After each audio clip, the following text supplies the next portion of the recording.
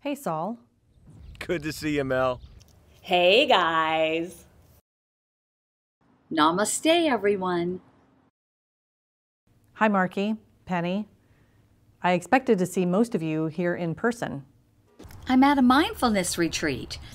I can't be there with you in person, but my spirit and positive energy are right there in the conference room with you. Great. I hope they like bagels. Look, I call this meeting to go over our return to office strategy. Last quarter, we asked employees to come in three days a week. Obviously, that's not happening. It feels like a ghost town. I'm with you, Mel. There's no reason employees can't come in three days a week. The way I see it, if they aren't in the office, how do I know they're really working? Saul, where are you? I'm in Catalina for the sales kickoff. The SKO finished on Tuesday. Yeah, but I've been so productive, I stayed the whole week. I'll be back in the office on Monday. Actually, make that Tuesday. Monday, I have a thing. Look, I want to hear some ideas about improving attendance. We pay $20 million for our new headquarters. I want to see some butts in chairs. It's a fabulous building, Mel. It's such a shame no one is there. Remote work isn't sustainable. There's no team chemistry. People are social animals. They're not meant to work in isolation. Marky, is that your home office? Uh, yeah, the kid's school had a water main break. I gotta watch them today. Mom, Billy's eating crayons. Hey, mommy's working!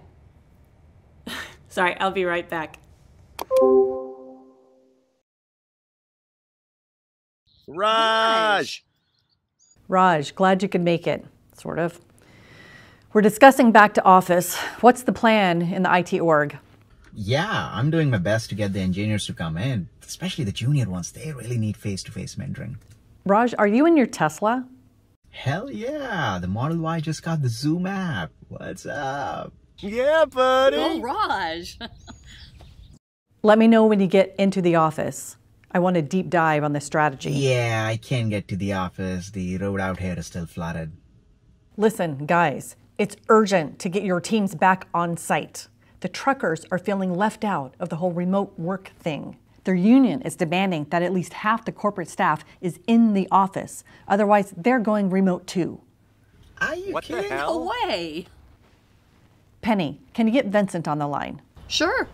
I'll see if he's available. Mel, I've been brainstorming ways to incentivize staff to come in. Like, if someone joins a meeting from home, make them do 20 push ups. We can't do that, Saul. We'll get sued for ableism. Some people are really. Vinny DeVito at your service. Vincent, glad you could join us. I'll get right to the point. We need to get those trucks rolling. Here's the situation.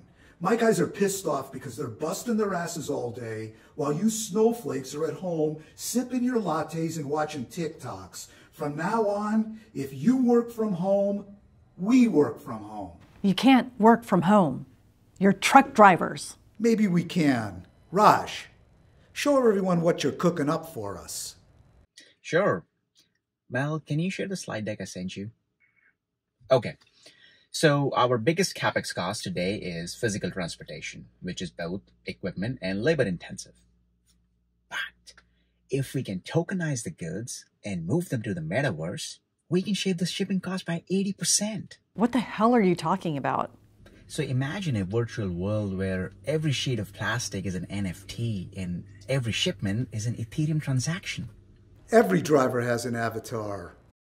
You've got to be fucking kidding me. This would be great for our sustainability initiative. If the plastic is in the cloud, it can't be in the ocean. I heard sea turtles eat plastic and get really sick. Come on. We have an order to ship three tons of plastic to Scranton by Thursday. The Scranton in this universe. The customer is not going to pay for an NFT. Look, Mel, all you gotta do is bring your white collar cupcakes back to the office and those trucks will be moving again. They ain't gonna drive themselves. Self driving trucks are coming, Vinny. You'll be out of business before that. And then your guys will be out of a job too. Is that what you want?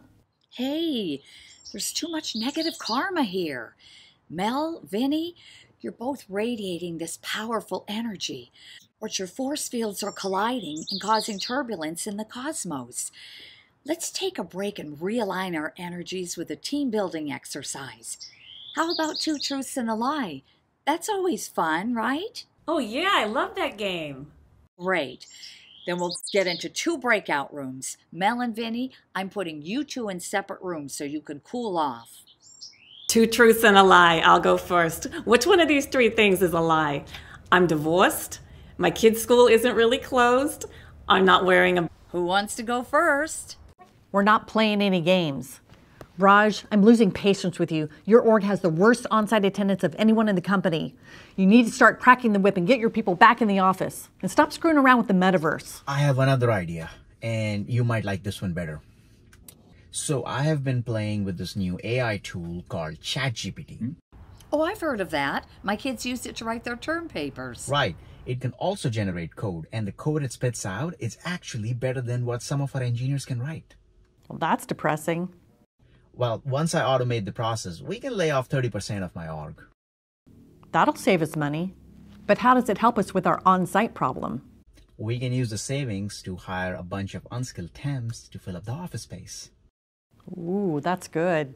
Vinny, you go next. All right, let's see. I'm a widower, I'm in the mafia, and I play trombone in a swing band. Holy shit, are we being recorded? You're not in the mafia. You got it, Marky. I know your type. All bark and no bite. I can't be in the mafia because there is no mafia. Oh. I like your idea, Raj, but where are we going to find all these workers? We can hire ex cons. The county just released hundreds of felons because of criminal justice reform. No one wants to hire felons. We can scoop them up. Oh, that's good. A lot of them are homeless too. We can set up cots in the office and they can basically just live there. They can work from home in the office. The jail population is very diverse. We'll have the best DEI numbers in the industry. Raj, can the ex-cons be trained to use your AI tools? There's actually a name for that job. It's called prompt engineer. But yeah, pretty much anyone can do it. We've got a solution. Let's bring the others back in. I have to bail.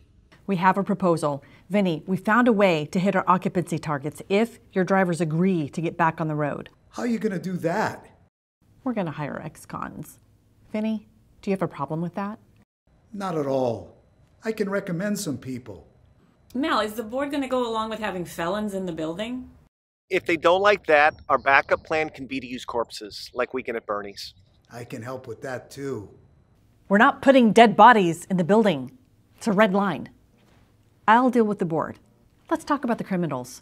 Which ones are we comfortable hiring? No murderers or rapists. Good point, Marky. Violent crimes are off the table. What about a smash and grab? Grabber, yes. Smasher, no. Sounds like white collar criminals are our best option. Definitely. They didn't kill anyone and they're used to an office environment. Win win. How about embezzlement? That's a non starter. Better if they did something like accounting fraud, like they claimed revenue that wasn't real.